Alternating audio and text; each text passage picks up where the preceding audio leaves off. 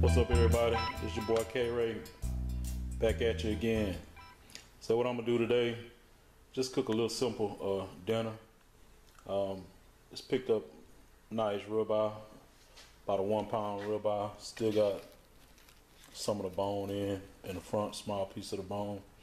Uh, what I'm gonna do is blacken that today. Do this cook inside on my stove. Uh, been pretty hot outside been raining today and everything, so I rather just cook a little something on the inside. I'm blacking it up with some olive oil and this uh, Tango Spice Cajun rub. Man, that's some good stuff, man. I, I can't stink, uh, seem to stay away from that. And I'm also blacking up uh, these shrimp. You know, got hold of some good jumbo shrimp down here, so uh, get those together and uh, get cracking. I'll be back in a minute later. All right, everybody, I am back, and I got um, shrimp seasoned down. I just do mine like one side, then once I get it in the in the uh, pan, I do the other side. You know, to make sure I have all my seasoning on there. Did the same thing uh, for the steak. So I got my cast iron skittle over here getting getting hot. Got a couple more little items here. I got some butter, melted butter, about two tablespoons over here that I'm gonna use to base the uh, the shrimp with. Always good the butter on there. I just made a little uh, steak sauce uh, here.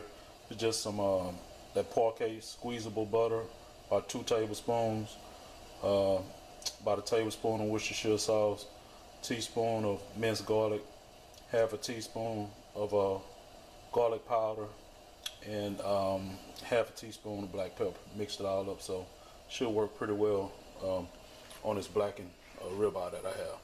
So what I'm gonna do, I'm gonna get it. My uh, skittle is already coming up to temp, starting to smoke a little bit.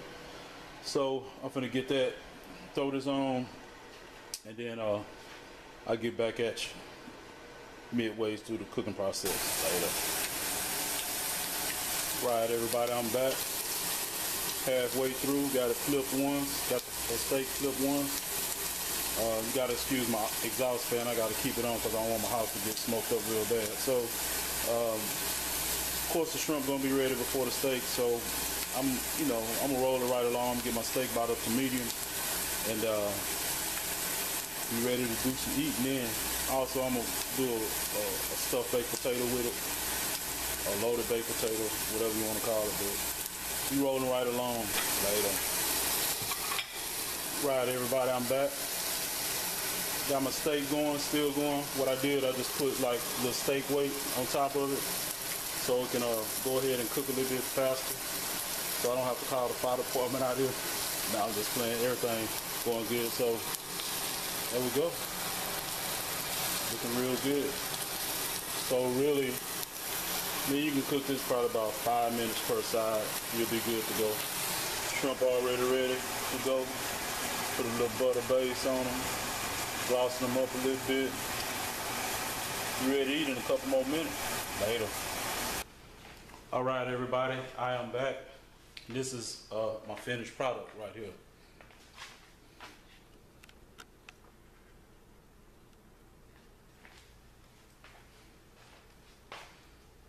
Blackened ribeye, blackened shrimp, loaded baked potato.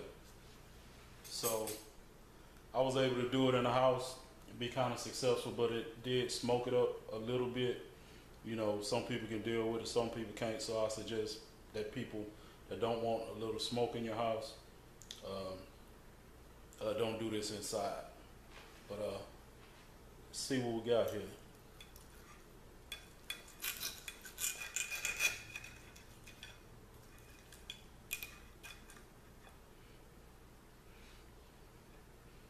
Pretty good. That's what I wanted around medium.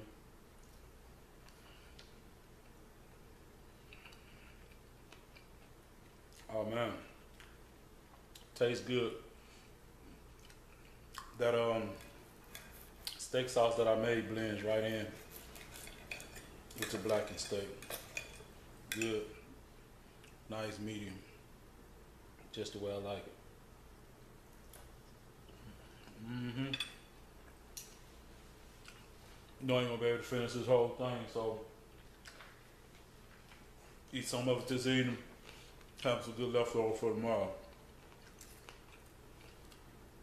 Shrimps came out good as well too. Oh yeah, nothing like a good blackened shrimp. Yo. So that's it. Just a little simple, easy cook for me.